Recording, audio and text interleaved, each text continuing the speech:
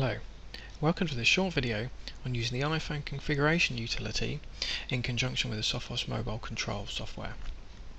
Now for the Sophos SMC, uh, in order to control the Apple devices, whether that be the iPhones, the iPads or the iPod touches, uh, along those kind of lines, uh, we need to set up a profile using the iPhone configuration utility.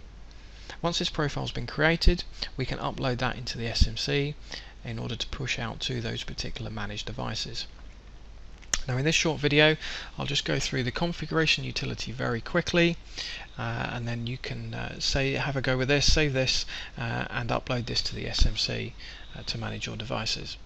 So the first thing we've done, load up the configuration utility, new configuration profiles and we've got one here, profile name 2. So in the general window we can give this a uh, profile name and we can give this a unique identifier.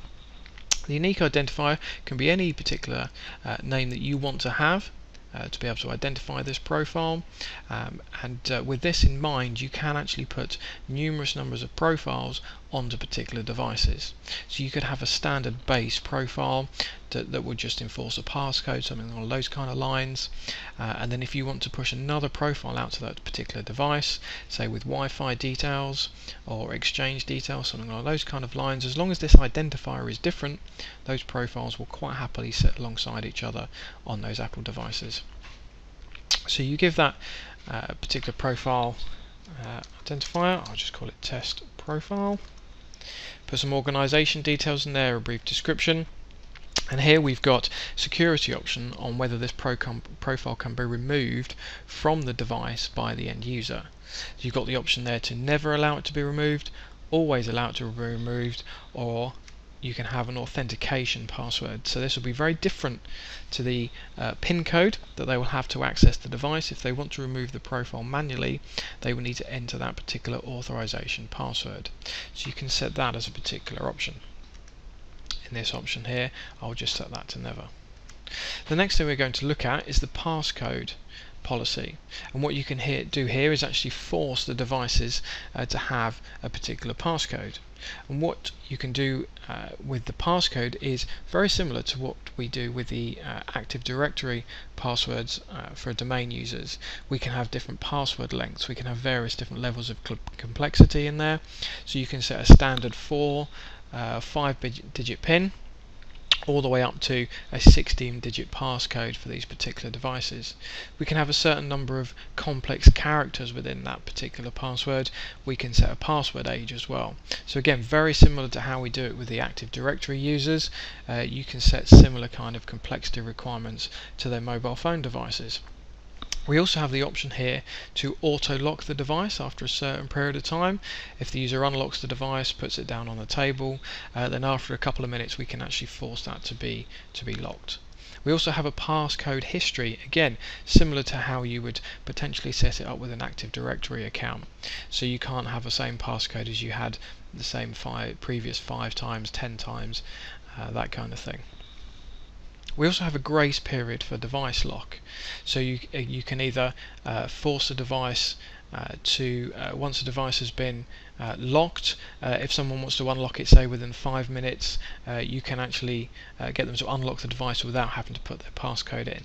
This obviously reduces the security level, um, but you'll need to weigh that up with the usability of that particular device. We also have the option here for the maximum number of failed attempts uh, before all data will be erased off those particular devices. So if someone steals the phone or if the phone gets stolen uh, and the passcode is put in six or seven times for example, we can actually get that device uh, to self-wipe uh, in that particular situation. So that's the passcode complexity. One of the other things we're going to look at here is the actual restrictions that you can put on these on these Apple devices. And as you can see here, we've got quite a range uh, of restrictions that we can put on these devices at various different levels. So what we can do here, we can allow uh, or disallow the installation of applications on the on the to the devices. So this is anything from the application store. We can stop the end users being able to do that. We can stop the end users being able to do in-app purchases. So if they've already got an app on their phone um, and they need to buy something within that app, for whatever reason we can disallow that as well. One of the other options we've got here is to allow or disallow the use of a camera. Now from a DLP point of view it's quite possible that people can take snapshots of things, can take pictures of things within uh, an office or an office environment uh, anything with confidential information, and then take a screen capture of that uh, away. And this is something that you can restrict uh, with it using this particular utility. Various different options there. As you can see, we can block access to the iTunes store. Uh, we've also got these built-in applications here, so we can again uh, control the use of YouTube or the iTunes Store or even uh, Safari itself.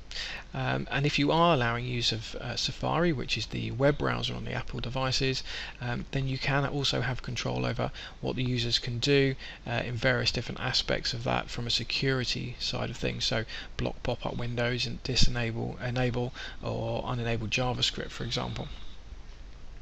One of the other options we've got here is allowing access to iCloud services. Now if you've got confidential information uh, on these particular devices you might want uh, to stop people to upload things via the iCloud. Uh, you might want to just have them on the particular devices. So you can block access to iCloud, stop the backups going up to iCloud, uh, stop the document syncs and even the photo streams as well. A little bit further down uh, we've got uh, the option to allow different content ratings as well. So if you have a corporate device um, and you are allow people to use particular apps or whatever on there, you can actually set a content rating uh, to allow uh, only you know, apps for a, a certain age range or a certain level. So there's various different aspects that we can do there uh, with uh, with the applications and the built-in features within uh, within the Apple devices. Now one of the other options uh, I wanted to mention, I won't go through every single one of the options here in the configuration utility. I will mention the Wi-Fi. You can configure a Wi-Fi profile as long as you have the SSID uh, and a password. Then you can set these devices to be able to access a Wi-Fi network. So you if you have uh, a wireless network within your corporate environment uh, and you want users to be able to access uh, this particular wireless network through their mobile devices but you don't want to keep giving out the password, what you can do is you can set it and hard code it within this profile, push this profile out to uh, numerous devices at the same time using the SMC and then they can connect onto the Wi-Fi. This is also very handy if you need to have a password change for whatever reason. You can change the password in the profile, save the profile, upload it to the SMC, push it out to all those particular devices and you can make sure that all those devices will have that updated password and still be able to connect onto the Wi-Fi. One of the last things I'll mention here is the Exchange Active Sync and here you can actually hard code to uh, allow email via these particular um, Apple devices. So you would put in your Exchange Active Sync host, which can either be your uh, email uh, Exchange server itself, or you can set up the SMC to be uh, an Active Sync proxy. You would put in domain details, and you can put in wildcards for the users and the email addresses. So this means that once the phone is provisioned, these will be prompted for their password and they will have access to their email account without having to put any of that information in themselves. They'll also be unable to change any of that information so you can't modify the email accounts uh, and such like if they want to try and get to a different account or if someone wants to try and change anything maliciously and then you can be confident that those phones and those devices are locked down uh, as tightly as you want them to be. That's a very short introduction on using the configuration utility. Um, and of course you can use this uh, with in conjunction with the Sophos mobile control software to give full control over your mobile devices not just the Apple devices uh, but the SMC also supports uh, Android and Windows mobile and BlackBerry devices well thank you very much for your time I hope this has helped you